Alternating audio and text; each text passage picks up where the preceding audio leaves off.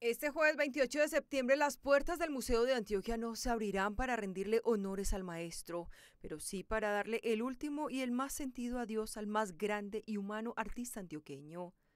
Desde las instalaciones del museo, ese mismo que fue su casa y al que le dejó tantos recuerdos, su cuerpo será trasladado en una caravana hacia la Catedral Basílica Metropolitana, donde a las 11 y 30 de la mañana, Monseñor Mauricio Vélez presidirá una ceremonia eucarística.